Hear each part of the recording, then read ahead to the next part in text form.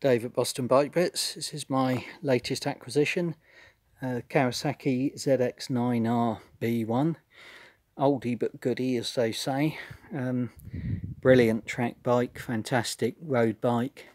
Uh, 4 into 1 Hindle exhaust.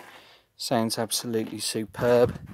Very good tyres on it. It's got MOT until uh, September. So what's that about four months, five months, something like that. Um, yeah, she's a, a, nice enough old girl. Ideal as a track weapon or a good day-to-day -day bike. I'll just fire her up.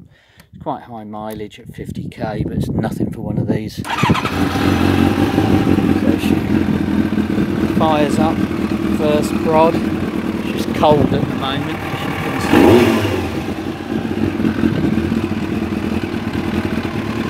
But nice, smooth, even idle. Revs up nice and cleanly.